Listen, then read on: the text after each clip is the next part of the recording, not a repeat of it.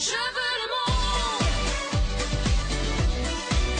aux larmes citoyennes, la femme est souveraine. Rêvons le monde, menons la fronde. Plus rien ne nous fait peur, on connaît la douleur. L'expérience était, c'était génial. Il y avait que des, euh, que des bonnes choses à prendre. Tout le monde était euh, vraiment dans un bon esprit. Euh, entre la technique, la production, les talents, les, les musiciens, même les coachs, tout le monde était vraiment dans, une belle, euh, avec le même but, quoi, un bon esprit. L'idée de faire un, un bon show, je pense, et, euh, et on était dans des bonnes conditions à chaque fois pour, pour donner le meilleur de nous-mêmes. Je disais que mon père était guitariste et en fait le, le fait est qu'il a accompagné, il a accompagné Stéphane Rison à son audition puisque il est, il est guitariste et compositeur pour Stéphane depuis trois ans. Et euh, il a accompagné Stéphane à son audition et puis il m'a dit bah tiens je voudrais la faire, euh, ça pourrait être sympa. euh. Enfin moi j'avais aucun contact avec les casteurs. Il a réussi à avoir le mail euh, bah, d'un des casteurs. Je lui ai envoyé ce que je faisais, il m'a dit de venir. Et puis ainsi de suite. Je veux le monde larmes citoyennes, la femme est souveraine. Rêvons le monde. C'est Dabatia qui m'a vu sur une des émissions de The Voice et qui après finalement a trouvé le moyen de me contacter. Et euh, bah, je lui ai répondu et, au final bah, me voici ici. Ce qui m'a branché, c'est que un truc très important, c'est que j'allais pas me retrouver euh, les bras ballants pendant pendant un an, quoi, et que j'allais avoir du travail. Et ça, c'est plutôt intéressant. Même si j'ai un album qui se prépare, je préfère euh, ne pas rester chez moi et rien foutre, quoi. J'ai, déjà assez fait pendant deux ans. Et là, bah, c'est un bon ça va être un bon spectacle. L'idée, l'idée m'intéressait, la révolution, c'est important. Je pense que c'est assez actuel. Et euh, puis même la troupe, euh, il y avait, enfin, j'ai, vu les chanteurs, les chanteuses, c'était une belle équipe, des, bo- des bons danseurs, des bonnes danseuses, puis des bonnes chansons aussi. Ça, c'est important.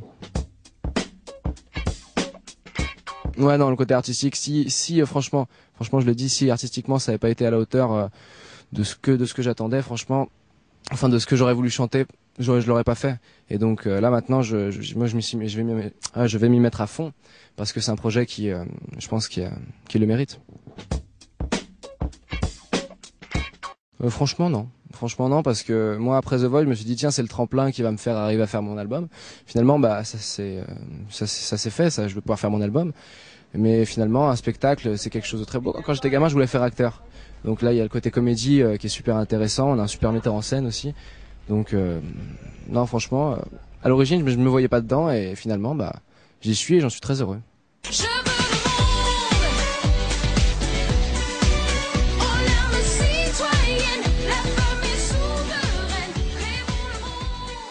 Eh ben, on a attaqué aussi par du bon physique parce que apparemment être comédien et, chanteur c'est aussi du physique et, il le faut. Donc on est attaqué par une bonne reprise avec des pompes, ça fait du bien. Et euh, bah c'est comédie quoi. Le, côté comédie c'est savoir être naturel et, et je crois que c'est le plus dur d'être soi-même sur une scène. Donc euh, ça fait du bien aussi à- au corps et à, un chanteur de pouvoir euh, revenir à l'essentiel, c'est-à-dire à une nature et, et pas pas du fabriquer. Même si être acteur c'est aussi fabriquer des choses, mais c'est euh, c'est essayer de ressentir euh, ce qu'on fait, je pense. Dans cette comédie musicale, je m'appelle Ronan. Je suis un révolutionnaire euh, dont le père a été tué, donc dans le prologue. Et je monte à Paris avec des envies de vengeance et de révolution. C'est là que je rencontre une certaine Olympe, qui est plutôt mignonne, et que une histoire d'amour se crée. Et je tombe fou amoureux d'elle, et, et elle aussi apparemment. Enfin, je l'espère. Sinon, on est un peu dans, dans la merde. Quoi.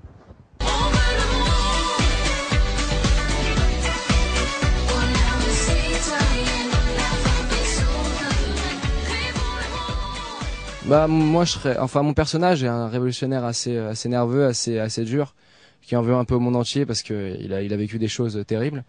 Moi dans dans dans la vraie vie, je pense que je suis un révolutionnaire un peu plus doux, un peu plus tendre euh, qui va essayer de faire passer euh, ses idées par la musique, je pense. Et pas par la pas par la force. Mais bon, c'est aussi intéressant de- d'explorer ce côté-là. Peut-être que quand je vais sortir de cette comédie, je vais me prendre pour un mec euh, qui peut tout casser et je vais faire la révolution, on verra. Moi, franchement, en arrivant, je me suis dit bon, ça va être un peu chaud parce que j'arrive euh, sur le, sur le tas. Ils ont quand même beaucoup bossé. Moi, j'arrive, euh, je vais avoir du travail et tout ça. Et finalement, bah, ils m'ont accueilli à bras ouverts. euh, Ils sont pas posé de questions. Comme si j'ai l'impression d'avoir toujours été là. Donc, c'est quelque chose de très drôle. Ça fait deux semaines. donc, non, non, c'est euh, ils m'ont super bien accueilli. Je me, je me sens super bien avec eux. C'est, tous des super talents, des gens super. Donc euh, que ce soit euh, les chanteurs, les danseurs, les aussi la technique, tout ça, tout le- toute la production, tout le monde qui bosse, tout le monde m'a accueilli vraiment très bien. Donc moi, j'ai plus qu'à faire mon boulot. hein. Ça m'excite moi d'être sur la scène. C'est, ce que je recherche à chaque fois. Le, le, c'est super de préparer quelque chose. Il y a une création. Il enfin, il y a une espèce d'attente et d'en- et d'envie qui se crée en même temps que tu crées le spectacle.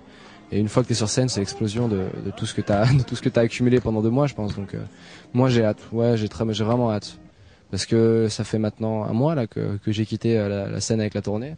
Et là franchement, ça me manque, j'y pensais encore ce matin dans le métro, je me disais c'était bien quand même. Donc non non, j'ai hâte euh, qu'on reprenne vraiment les shows et qu'on prenne le rythme.